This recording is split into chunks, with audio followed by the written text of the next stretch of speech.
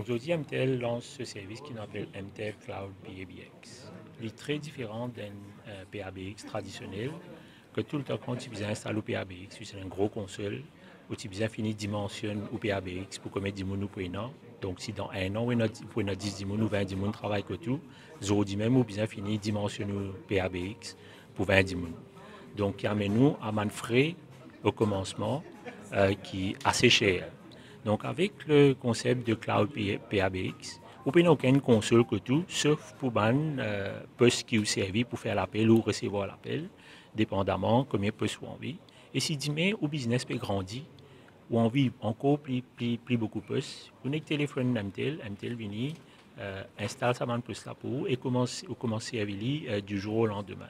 Donc, vous n'avez pas besoin, euh, un, pas besoin un grand coût au commencement, ou capable d'étaler au coût euh, sur les mois, sur les années, dépendamment comment le business peut grandir.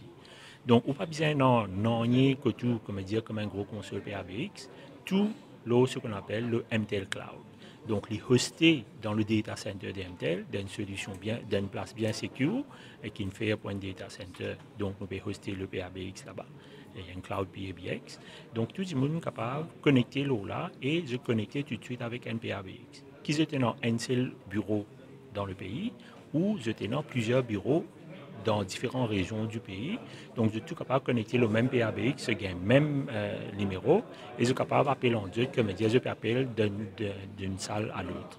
Donc, c'est ça le, les avantages et les bénéfices de ce nouveau PABX.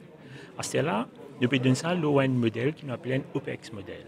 Ça veut dire qu'on n'a pas besoin d'investir massivement euh, dans ce qu'on appelle euh, le CAPEX pour, ça veut dire un gros montant pour gagner au PABX, ou investir là-dedans doucement, doucement, ou payer tous les mois, tous les mois pour un poste qui peut servir et un appel qui peut servir. Comme ça, le sac business, n'est pas venu fort. N'est pas venu fort que tu besoin déposer beaucoup de casse pour que mes de gagner la possibilité et non un PABX.